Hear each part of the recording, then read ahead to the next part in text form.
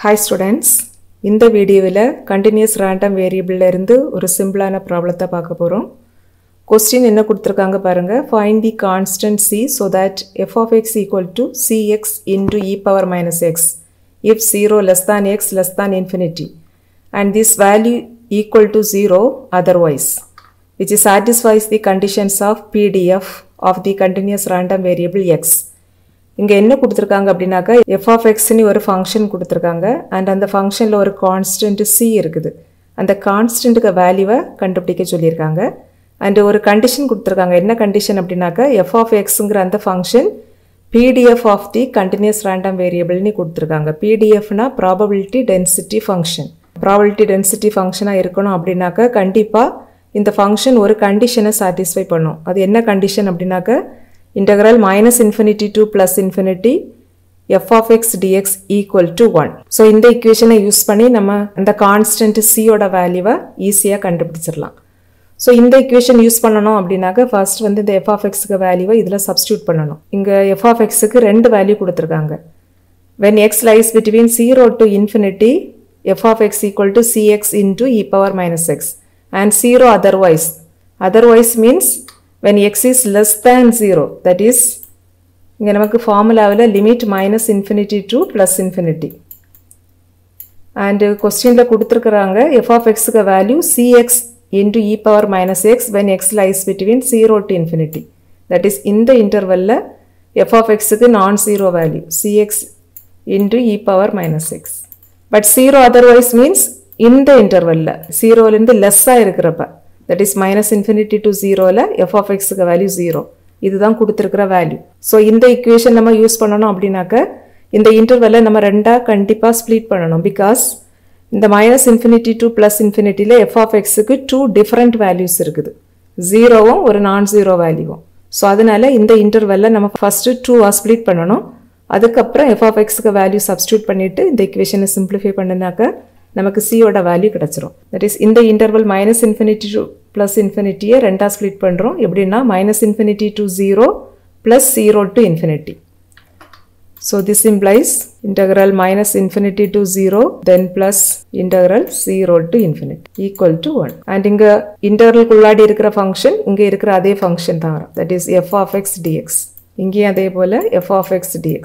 இப்போ இதில் f of xக்கு வேல்யூ சப்ஸ்டியூட் பண்ணிட்டு இன்டகிரேட் பண்ண போகிறோம் இந்த இன்டர்வெல்ல மைனஸ் இன்ஃபினிட்டி டு ஜீரோ இந்த மைனஸ் இன்ஃபினிட்டி டு ஜீரோவில் எஃப் ஆஃப் எக்ஸுக்கு வேல்யூ ஜீரோ ஃபர்ஸ்ட் இன்டகிரலில் எஃப் ஆஃப் எக்ஸ் இருக்கிற பிளேஸில் ஜீரோ போடணும். அண்ட் செகண்ட் இன்டகிரலில் எஃப் ஆஃப் எக்ஸ் இருக்கிற இடத்துல c x into e power minus x because at this interval zero to infinity f of x value c x into e power minus x so இந்த equation எப்படி reduce ஆகும் பாருங்க. இந்த first இன்டகிரலில் F of எக்ஸுக்கு zero போடுவோம். So interval of zero value zero so first interval ஜீரோவாக மாறிடும். Plus second integral f of x க்கு value c into x into e power minus x into dx. Limit 0 to infinity equal to 1 இப்போ இந்த second இன்டகரலில் C அப்படின்னு ஒரு constant இருக்குது. And integralல இருந்து அந்த constantை நம்ம first வெளியில் எடுத்துடலாம்.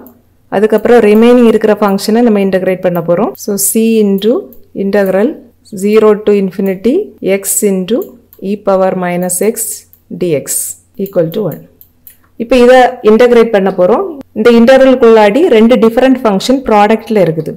ஒரு ஃபங்க்ஷன் வந்து எக்ஸ் அண்ட் அடுத்த ஃபங்க்ஷன் எக்ஸ்போனன்ஷியல் ஃபங்க்ஷன் ஸோ இப்படி இன்டர்வல்குள்ளாடி ஒரு ஃபங்க்ஷன் பாலினாமியல் தட் இஸ் எக்ஸுக்கு பவர்ஸில் இருந்துட்டு இன்னொரு ஃபங்க்ஷன் வந்து எக்ஸ்பனன்ஷியலோ சைனோ காசோ அப்படி இருந்தது அப்படின்னாக்க நம்ம பெர்னோலிஸ் ஃபார்முலாவை நம்ம யூஸ் பண்ணுவோம். பெர்னோலி ஃபார்முலா அப்படின்னாக்க integral of u v dx equal to first u then into v1 then minus u dash into v2 then plus u double dash into v3 then minus u triple dash into v4 plus etc so u அப்படின்னாக்க இங்கே உள்ள first function and v one அப்படின்னா இந்த second ஃபங்க்ஷனுக்கு integration that is விக்கு integration தான் v one அடுத்த term minus u dash u டேஷ்னா இப்போ நம்ம இந்த இதை மறந்துடணும். Just consider the first term இதில் உள்ள ஃபர்ஸ்ட் டேர்ம் கன்சிடர் பண்ணிவிட்டு அதில் உள்ள ஃபர்ஸ்ட் ஃபங்க்ஷன் யூக்க டிஃப்ரென்ஷியல் வேல்யூவை தான் இங்கே எழுதணும். U dash then into v two v டூனா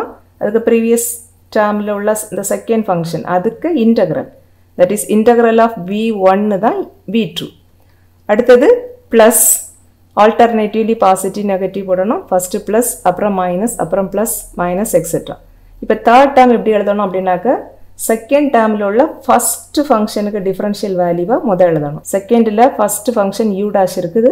அதுக்கு differential value u double dash then into v three v த்ரீனா இந்த செகண்ட் டேர்மில் உள்ள அந்த செகண்ட் ஃபங்க்ஷன் வி டூக்கு இன்டகிரல் வேல்யூ தான் v three then minus etcetera that is இங்கே வந்து நம்ம எப்போதுமே யூ அப்படிங்கிறது பாலினாமியலின் எக்ஸ் அதை தான் நம்ம யூன்னு வச்சுப்போம்.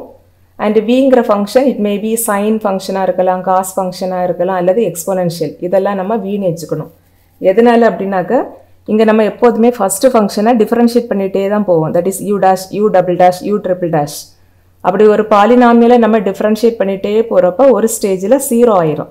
அப்போ இந்த சீரீஸ் வந்து ஒரு ஒரு பிளேஸில் வந்து ஸ்டாப் ஆகி அதுக்கு ஆன்சர் நம்மளால் கண்டுபிடிக்க முடியும்.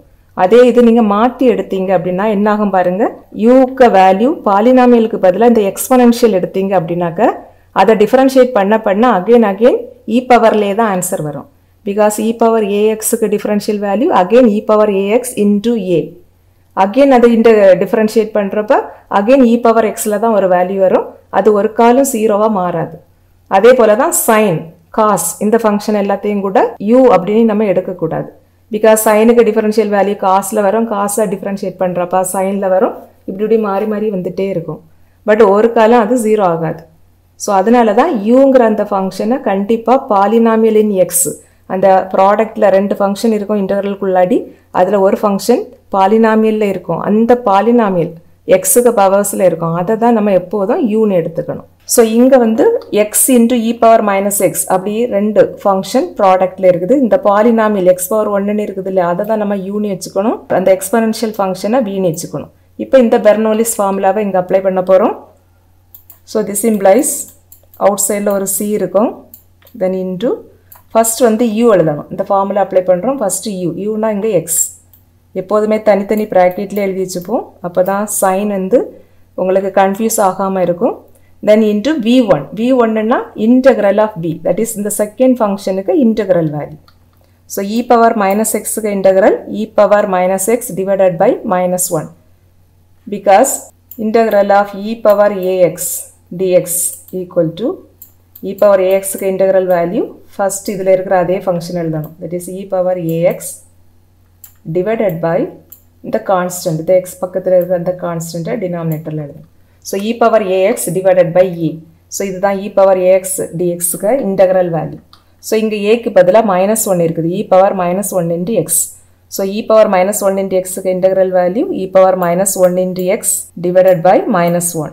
So இப்போ u into v1 முடிஞ்சாச்சு. அடுத்தது மைனஸ் போடணும். இப்போ நீங்கள் இந்த இன்டகரலுக்குள்ளாடி இருக்கிற ஃபங்க்ஷனை மறந்துடுங்க ஜஸ்ட் இந்த ஃபர்ஸ்ட் டேர்மை மட்டும் கன்சிடர் பண்ணுங்கள் இதில் ரெண்டு டிஃப்ரெண்ட் ஃபங்க்ஷன் இருக்குது. ஸோ அதில் உள்ள அந்த ஃபஸ்ட்டு ஃபங்க்ஷனுக்கு டிஃப்ரென்ஷியல் வேல்யூவை இங்கே எழுதணும். Then into integral of second function so first function இங்கே எக்ஸ் பவர் ஒன் இருக்குது. எக்ஸ் பவர் ஒன்னுக்கு differential value with respect to எக்ஸ்னா one தான் வரும். பிகாஸ் எக்ஸை டிஃப்ரென்ஷியேட் பண்ணுறப்ப என்ன ஆகும்? டிஎக்ஸ் பை டிஎக்ஸ்னு கிடைக்கும். That is one then into இந்த செகண்ட் ஃபங்க்ஷனுக்கு இன்டகரலை இந்த செகண்ட் ப்ராக்கெட்டுக்குள்ளே எழுத போகிறோம் that is e power minus எக்ஸுக்கு integral value e power minus x divided by minus one இங்கே ஆல்ரெடி டினாமினேட்டரில் ஒரு மைனஸ் ஒன் இருக்குது. ஸோ மைனஸ் இன்ட்டு மைனஸ் ப்ளஸ்ஸாக மாறிடும் ஸோ இ பவர் மைனஸ் எக்ஸ்னு கிடைக்கும். அண்ட் அடுத்த டேம் ப்ளஸ் வரும். இப்போ இதை மறந்துடுங்க just previous most recent previous value மட்டும் கன்சிடர் பண்ணுங்கள் அதில் உள்ள ஃபஸ்ட்டு ஃபங்க்ஷனுக்கு டிஃபரன்ஷியல் வேல்யூவை இங்கே எழுதணும். அதுக்கப்புறம் இந்த செகண்ட் ஃபங்க்ஷனுக்கு இன்டகரல் வேல்யூவை இங்கே எழுதணும். ஸோ ஃபஸ்ட்டு ஃபங்க்ஷன் இங்கே ஒன் இருக்குது. ஒன் வந்து constant so கான்ஸ்டன்ட்டுக்கு differential value zero so zero into இந்த செகண்ட் ஃபங்க்ஷனுக்கு இன்டகிரல் இங்கே zero into any value zero so இந்த ஜீரோ வந்ததை நம்ம ஸ்டாப் பண்ணிடலாம்.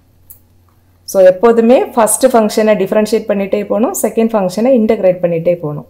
அப்படி ஜீரோ வர்றது வரைக்கும் கண்டினியூ பண்ணணும். இப்போ லிமிட் வந்து ஜீரோ டு இன்ஃபினிட்டி இங்கே லிமிட் கொடுத்துருக்காங்க zero to infinity equal to right side value one இப்போ நம்ம லிமிட் அப்ளை பண்ண போகிறோம் so implies c into first upper limit apply பண்ண போகிறோம் எக்ஸ் இருக்கிற பிளேஸில் எல்லாம் இன்ஃபினிட்டி போடணும். அப்போ இந்த டேர்ம் என்ன ஆகும் பாருங்கள் இ பவர் மைனஸ் இன்ஃபினிட்டி அப்படி கிடைக்கும். நமக்கு தெரியும் இ பவர் மைனஸ் இன்ஃபினிட்டிக்கு வேல்யூ ஜீரோ ஸோ நீங்கள் அப்பர் லிமிட் அப்ளை பண்ணுறப்ப இந்த டேர்ம் உங்களுக்கு ஜீரோ ஆயிரும். இ பவர் மைனஸ் இன்ஃபினிட்டின்னு கிடைக்கும். That is zero zero into this value zero similarly இந்த செகண்ட் டேர்ம்லேயும் நமக்கு இ பவர் மைனஸ் இன்ஃபினிட்டி வரும். இ பவர் மைனஸ் இன்ஃபினிட்டிக்கு வேல்யூ ஜீரோ ஸோ இந்த அப்பர் லிமிட் போடுறப்ப இந்த டேர்ம் இந்த ஃபஸ்ட்டு டேர்மும் ஜீரோ ஆயிரும் செகண்டும் ஜீரோ ஆயிரும். ஸோ ஹோலாக உங்களுக்கு ஜீரோ ஆயிரும். தென் மைனஸ் நான் அப்ளை லோவர் லிமிட் லோவர் லிமிட்னா எக்ஸ் இருக்கிற பிளேஸில் ஜீரோ போடணும். அப்போ இந்த டேர்ம் என்ன ஆகும் பாருங்கள் இங்கே எக்ஸ் இருக்கிற இடத்துல ஜீரோ போடுறப்ப zero into this value zero into this value zero into any value zero அப்போ இந்த டேர்ம் ஜீரோ ஆயிரும். தென் மைனஸ் இங்கே எக்ஸ் இருக்கிற பிளேஸில் ஜீரோ போடுவீங்க. So e power minus zero equal to one இப்போ இந்த வேல்யூவை சப்ஸ்டியூட் பண்ணலாம். இ பவர் ப்ளஸ் ஜீரோனாலும் இ பவர் மைனஸ் ஜீரோ ரெண்டுக்கு வேல்யூவும் ஒன்று தான் because e power minus zero equal to e power plus zero and e power ஜீரோக்கு வேல்யூ ஒன் அப்போ இந்த பிளேஸில் நம்ம ஒன் போட்டுருவோம். அண்ட் அவுட் சைடில் ஒரு மைனஸ் இருக்குது. இங்கேயும் மைனஸ் ப்ராடக்டில் இருக்குது. ஸோ மைனஸ் இன்ட்டு மைனஸ் ப்ளஸ்ஸாக மாறிடும். அண்ட் இ பவர் மைனஸ் ஜீரோக்கு value one so simply one into c அப்படியே லெஃப்ட் சைடில் கிடைக்கும். That is c equal to one so இந்த கொஸ்டினில் வந்து சீக்க வேல்யூ தான் கேட்டிருக்காங்க. நமக்கு சீக்க வேல்யூ ஒன்னுன்னு கிடச்சிருக்கு.